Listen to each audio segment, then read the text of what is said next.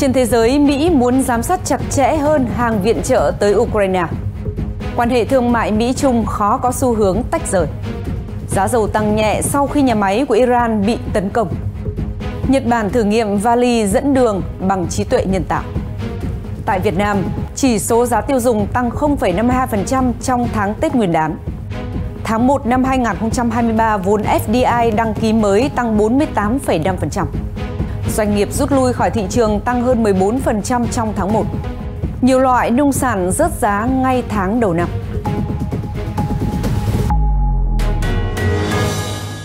Mở đầu là các thông tin đáng chú ý trên thế giới. Thưa quý vị, Phó Thủ tướng Ukraine ông Oleksandr Kubrakov vào ngày 29 tháng 1 cho biết ông đã gặp các quan chức Mỹ để bàn về việc kiểm soát chặt chẽ hơn hàng viện trợ. Mục tiêu cuối cùng của hai bên là tất cả khoản viện trợ được sử dụng đúng mục đích với sự minh bạch cao nhất. Thời gian qua thì nhiều câu hỏi liên quan đến hàng viện trợ từ Mỹ được nêu ra sau khi chính phủ Ukraine thông báo về việc nhiều quan chức tham nhũng bị cách chức. Một số nghi ngờ tiền bạc và hàng hóa viện trợ có thể một số đã lọt vào túi các quan chức hoặc bị tuồn ra chợ đen bất hợp pháp. Phó Thủ tướng Ukraine cam kết tất cả sẽ được kiểm toán chặt chẽ và hạn chế tối thiểu khả năng bị thất thoát. Lý do hàng viện trợ quốc tế đối với Ukraine lúc này là vô cùng quan trọng, có ý nghĩa sống còn trong việc tiếp tục cuộc chiến với Nga. Ngoài ra, sử dụng hàng viện trợ sai mục đích sẽ làm suy giảm niềm tin của đối tác cũng như uy tín của chính phủ. thực vị, dòng chảy thương mại của Hoa Kỳ đang được điều chỉnh lại sau cú sốc đại dịch COVID-19 và căng thẳng với Trung Quốc. Nhưng nỗ lực giảm phụ thuộc lẫn nhau giữa các siêu cường đã không mang lại sự độc lập như mong đợi. Trong khi lo ngại về an ninh leo thang và hàng nhập khẩu của Mỹ từ Trung Quốc giảm, sau khi Washington và Bắc Kinh áp đặt thuế quan ăn miếng trả miếng, thương mại đã tăng trở lại. Các con số có thể tăng hơn nữa khi dữ liệu thương mại năm 2022 được công bố vào tháng tới, chỉ ra mức độ gắn kết của hai nền kinh tế lớn nhất toàn cầu. Nhưng các chuyên gia cho rằng căng thẳng đã để lại dấu ấn theo những cách khác nhau. Bà Marie Lovely là thành viên cấp cao tại Viện Kinh tế Quốc tế Peterson cho biết rằng hàng nhập khẩu của Mỹ từ Trung Quốc thấp hơn nhiều so với xu hướng trước khi chiến tranh thương mại bắt đầu.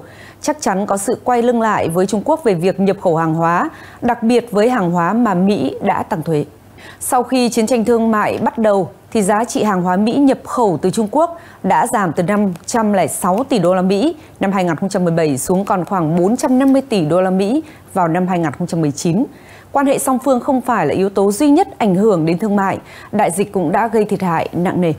Tháng 11 năm ngoái thì Trung Quốc đã chứng kiến xuất khẩu giảm mạnh nhất kể từ khi bắt đầu đại dịch Covid-19 với nhiều hoạt động kinh doanh bị đình trệ bởi chính sách nghiêm ngặt Zero Covid. Chuyên gia Ryan Sweet từ Oxford Economics cho biết rằng một yếu tố khác cũng gây áp lực lên hàng nhập khẩu là sự dịch chuyển đang diễn ra ở Mỹ Ông nói rằng người Mỹ đã chi mạnh tay cho các sản phẩm nhập khẩu trong thời kỳ đại dịch, nhưng họ cân nhắc và sắp xếp thứ tự ưu tiên nhiều hơn.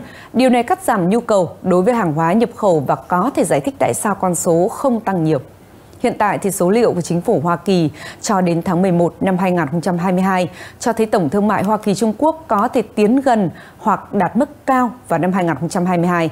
Theo các chuyên gia, trong tương lai quan hệ thương mại Mỹ Trung sẽ đa dạng hơn bất chấp nhiều căng thẳng. Ông Robert Koopman là giảng viên tại Đại học Mỹ và là cựu nhà kinh tế trưởng của Tổ chức Thương mại Thế giới WTO, cho biết sự gián đoạn ngày càng tăng liên quan đến biến đổi khí hậu cũng đang làm tăng rủi ro của chuỗi cung ứng, vốn tập trung quá mức vào một công ty hoặc một khu vực địa lý. Trong khi đó, thì Mỹ đang cố gắng tự chủ hơn trong các lĩnh vực cụ thể như chất bán dẫn. Đạo luật giảm lạm phát gần đây cùng các biện pháp trừng phạt liên quan là những chỉ số rõ ràng về nỗ lực của chính quyền Biden nhằm tách khỏi kinh tế Trung Quốc trong các lĩnh vực này. Nhưng quá trình trên sẽ phải tốn rất nhiều thời gian. Thưa quý vị, vào ngày 30 tháng 1 thì giá dầu trên toàn cầu tăng nhẹ sau khi nhà máy sản xuất UAV của Iran bị tấn công, cũng như Trung Quốc cam kết khôi phục kinh tế sớm nhất trong khả năng. Cụ thể thì giá dầu Brent đã tăng 0,6% lên 87,2 đô la Mỹ một thùng. Giá dầu US West Texas tăng 0,7% lên 80,22 đô la Mỹ một thùng. Theo một quan chức Mỹ, thì Israel có thể đứng đằng sau vụ tấn công bằng máy bay không người lái vào nhà máy quốc phòng của Iran. Điều này khiến căng thẳng lên cao trong khu vực, khiến cho các nhà đầu tư lo lắng về nguồn đầu tư cung cấp không ổn định từ Trung Quốc. Ông Stefano Grasso là chuyên gia kinh tế năng lượng ở Singapore, nói rằng hiện chưa rõ điều gì đã xảy ra ở Iran, nhưng mọi động thái gây căng thẳng đều có nguy cơ làm gián đoạn nguồn cung. Theo một số nguồn tin thì trong cuộc họp của khối OPEC cộng vào đầu tháng 2 tới, các bên không có ý định tăng sản lượng khai thác. Một yếu tố nữa cũng có thể ảnh hưởng tới giá dầu là việc Trung Quốc nhanh chóng mở lại nền kinh tế. Các dịch vụ đi lại, du lịch, vận chuyển hàng hóa được tăng cường cũng giúp cho lượng xăng dầu tiêu thụ nhiều hơn. Thưa quý vị, Tổng công ty Đường sắt Nhà nước Trung Quốc mới đây cho biết năm 2022 thì nước này đã hoàn thành và đưa vào sử dụng 4.100 km đường sắt, trong đó có 2.082 km là đường sắt cao tốc. Như vậy thì tính đến cuối năm ngoái, các tuyến đường sắt đang hoạt động ở Trung Quốc đã trải dài tổng cộng là 155.000 km, trong đó mạng lưới cao tốc là 42.000 km. Đầu tư vào đường sắt ở Trung Quốc đạt 710,9 tỷ nhân dân tệ, tương đương khoảng 105 tỷ đô la Mỹ vào năm 2022, thúc đẩy hàng loạt dự án lớn nhỏ trong lĩnh vực xây dựng cơ sở hạ tầng giao thông vận tải. Tập đoàn này cũng cho biết vào năm 2023 thì Trung Quốc có kế hoạch khai trương các tuyến đường sắt mới dài hơn 3.000 km, trong đó thì có 2.500 km cho tàu cao tốc. Trung Quốc đã xây dựng mạng lưới đường sắt cao tốc lớn nhất thế giới nhằm giải quyết nhu cầu đi lại, mang đến sự thuận tiện và thoải mái ngày càng tăng cho người dân.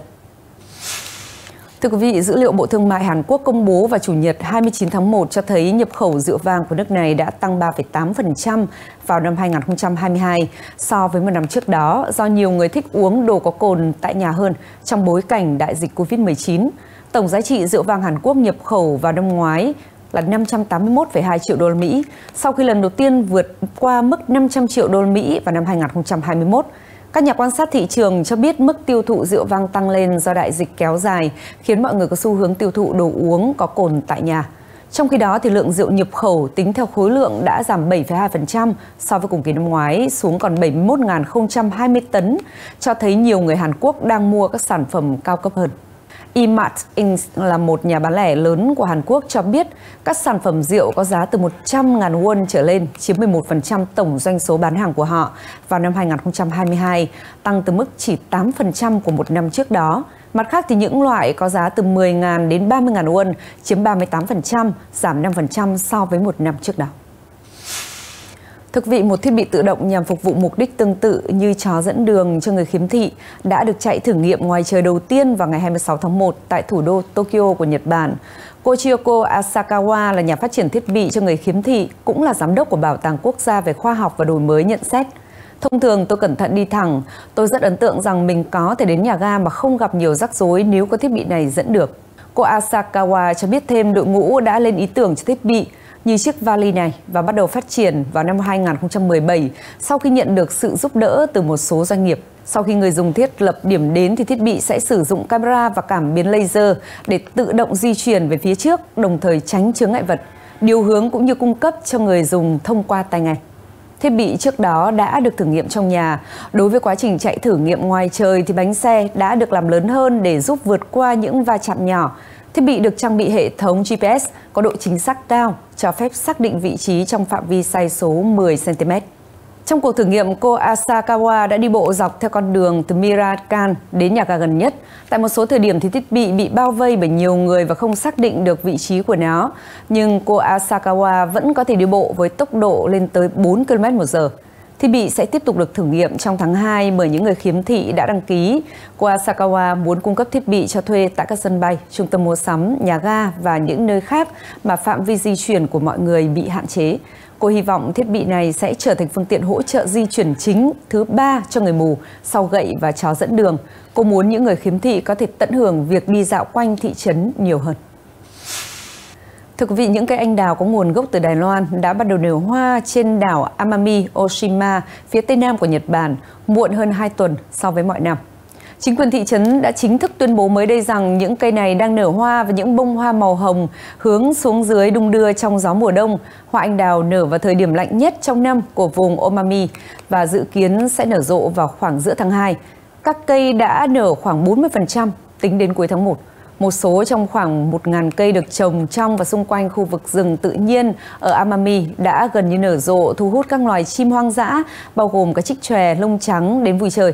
Phó thị trưởng của thị trấn ông Toshimitsu Nori đã phát biểu với báo chí, chúng tôi muốn đạt được sự cân bằng giữa bảo tồn thiên nhiên và du lịch. Do đó, những rừng cây này đang được chăm sóc kỹ lưỡng tạo ra một cảnh quan thực sự ấn tượng với người dân địa phương lẫn bạn bè Nam Châu.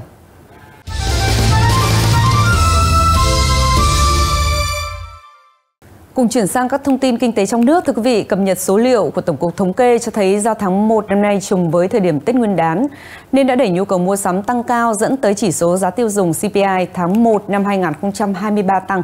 Cụ thể, chỉ số CPI tháng 1 2023 đã tăng 0,52% so với tháng trước và tăng 4,89% so với cùng kỳ năm ngoái. Trong mức tăng 0,52% thì có 8 nhóm hàng hóa và dịch vụ có chỉ số giá tăng, trong đó nhóm giao thông có mức tăng cao nhất là 1,39%, hai nhóm hàng có chỉ số giá giảm và một nhóm hàng giữ giá ổn định là bưu chính viễn thông. Theo đó thì lạm phát cơ bản tháng 1 tăng 0,46% so với tháng trước, tăng 5,21% so với cùng kỳ năm trước. Nguyên nhân chủ yếu là do giá ga và giá dịch vụ giáo dục giảm đã kiềm chế tốc độ tăng CPI trong tháng 1 năm 2023 thuộc nhóm hàng được loại trừ trong danh mục tính lạm phát cơ bản. Theo số liệu vừa công bố của Tổng cục Thống kê, thì trong tháng 1 năm nay, tổng vốn đầu tư trực tiếp nước ngoài FDI và nước ta đã giảm gần 20% so với cùng kỳ năm 2022, song nguồn vốn cấp mới từ nước ta đã tăng mạnh. Cụ thể thì tính tới ngày 20 tháng 1, tổng vốn đầu tư trực tiếp nước ngoài FDI đăng ký vào Việt Nam, bao gồm cả vốn đăng ký cấp mới, vốn đăng ký điều chỉnh và giá trị góp vốn mua cổ phần của nhà đầu tư nước ngoài đạt 1,69 tỷ đô la Mỹ. Ở chiều ngược lại, điểm tích cực là Việt Nam đã cấp mới cho 153 dự án FDI với tổng vốn đăng ký đạt 1,2 tỷ đô la Mỹ, tăng 48,5%. Trong tháng 1 thì có 3 quốc gia và vùng lãnh thổ nhận đầu tư của Việt Nam, trong đó Hàn Quốc là nước dẫn đầu, tiếp đến là Thái Lan và Lào. Thưa quý vị, trước tình hình kinh tế gặp nhiều khó khăn từ cuối năm 2022, nên sang đầu năm 2023, số lượng doanh nghiệp thành lập mới cũng đã giảm, đồng thời số doanh nghiệp rút lui khỏi thị trường đã tăng so với cùng kỳ. Theo báo cáo từ Cục Quản lý Đăng ký Kinh doanh, Bộ Kế hoạch và Đầu tư, thì trong tháng 1 năm nay cả nước có 10,8 ngàn doanh nghiệp thành lập mới với số vốn đăng ký hơn 99 ngàn tỷ đồng và số lao động đăng ký gần 68 ngàn lao động, trong đó giảm 16,6% về số doanh nghiệp và giảm 48,5% về số vốn đăng ký, giảm 11% về số lao động so với cùng kỳ năm trước. Bên cạnh đó thì cả nước có 15.000 doanh nghiệp quay trở lại hoạt động giảm 21,2% so với cùng kỳ năm 2022.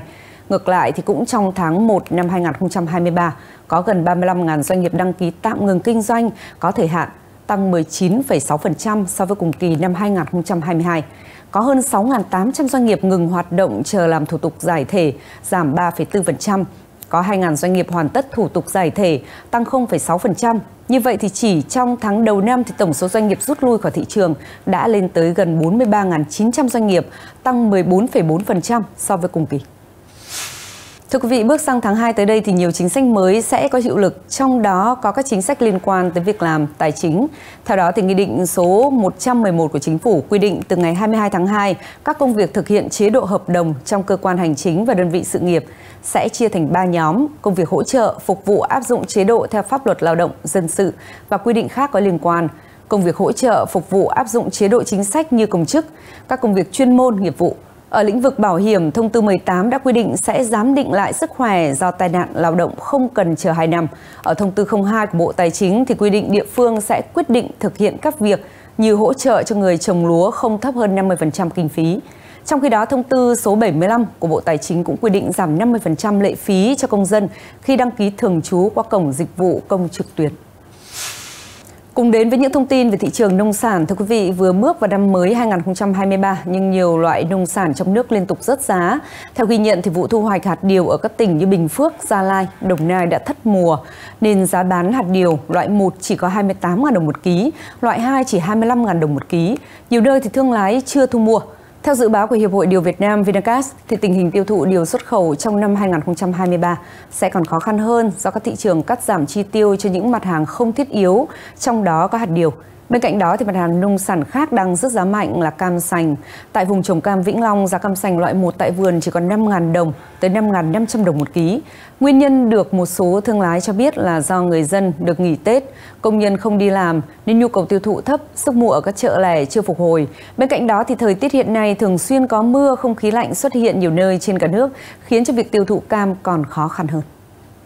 Thưa quý vị, đối với thị trường hồ tiêu thì đầu tuần này giá tiêu có xu hướng đi ngang khi các địa phương bước vào vụ thu hoạch rộ. Cụ thể trong phiên giao dịch vào ngày hôm nay 30 tháng 1 thì giá tiêu đang được thu mua cao nhất tại tỉnh Bà Rịa Vũng Tàu với giá 58.000 đồng một ký. Trong khi tại Bình Phước, Đồng Nai thì giá tiêu hôm nay duy trì ở mức 57.500 đồng một ký. Tại khu vực Tây Nguyên, giá tiêu hôm nay cũng không có biến động ở mức 55.500, 56.500 đồng một ký. Như vậy thì giá tiêu trong phiên đầu tuần duy trì khá ổn định và dự kiến sôi động từ tuần này khi kỳ nghỉ kết thúc và các địa phương bước vào vụ thu hoạch rộ. Cùng với đó, thị trường Trung Quốc đã mở cửa trở lại hàng tồn lưu kho tích lũy tại các nước nhập khẩu từ những năm trước đã không còn nhiều, giúp củng cố yếu tố hỗ trợ phục hồi thị trường trong năm 2023. Liên quan đến tình hình giá nhà trung cư tại Hà Nội thì các chuyên gia trong lĩnh vực bất động sản cho rằng trong bối cảnh nguồn cung khan hiếm, giá trung cư năm 2023 vẫn sẽ khó giảm, nhất là trong hai quý đầu của năm nay. Theo khảo sát của công ty Savos Việt Nam thì giá bán căn hộ sơ cấp bình quân tại Hà Nội hiện đạt 47 triệu đồng một mét vuông, tăng bình quân 5% theo quý trong năm 2022 và tăng mạnh so với năm 2021. Nếu so với quý 1 của năm 2019 thì giá sơ cấp hiện nay đã cao hơn 53% sau 16 quý tăng liên tục. Nguyên nhân được đại diện Hiệp hội Bất động sản Việt Nam cho biết là do sự khan hiếm quỹ đất ở trung tâm dẫn tới giá đất và chi phí đền bù tăng, tiến trình xin cấp phép và phê duyệt dự án kéo dài, làm tăng chi phí đầu tư, giá nhân công và nguyên vật liệu leo thang, lãi suất cho vay cũng biến động. Đặc biệt là nguồn cung dự án ít ỏi, vì vậy nếu nguồn cung bất động sản vẫn tắc và dòng vốn tín dụng chưa được khơi thông thì giá bán sơ cấp sẽ khó giảm trong năm nay. Chuyển sang thông tin về lĩnh vực du lịch, thưa quý vị, trong dịp Tết Nguyên đán vừa qua thì thành phố Hồ Chí Minh đã thu hút hơn 2 triệu lượt khách du lịch quốc tế và trong nước, tính riêng doanh thu của cả ngành du lịch trong 7 ngày Tết ước đạt khoảng 6.300 tỷ đồng. Theo Sở Du lịch thành phố Hồ Chí Minh thì do kỳ nghỉ Tết Nguyên đán năm nay dài và sát Tết Dương lịch nên lượng khách tăng hơn nhiều so với kỳ nghỉ Tết Dương lịch 2023 ở hầu hết các hành trình tour. Điểm đến được khách du lịch ưu tiên lựa chọn vào dịp Tết Nguyên đán năm nay là Phú Quốc, Đà Lạt, Sapa, miền Bắc và miền Trung. Đối với khách đi du lịch nước ngoài có xu hướng đi theo nhóm nhỏ, nhóm gia đình hoặc bạn bè quen biết. Với việc đẩy mạnh triển khai loạt sản phẩm du lịch mới, khai thác các điểm tham quan mới, các doanh nghiệp lữ hành đã phục vụ khoảng 18.000 lượt khách tham quan thành phố Hồ Chí Minh. Trong khi đó, các đơn vị nhà hàng khách sạn tiếp tục duy trì các chương trình khuyến mãi ưu đãi đã đăng ký tham gia thực hiện trong tuần lễ du lịch năm 2022. Và những thông tin vừa rồi cũng đã kết thúc tạp chí Life ngày hôm nay. Cảm ơn sự quan tâm theo dõi của quý vị và các bạn. Thu Hiền xin kính chào tạm biệt và hẹn gặp lại.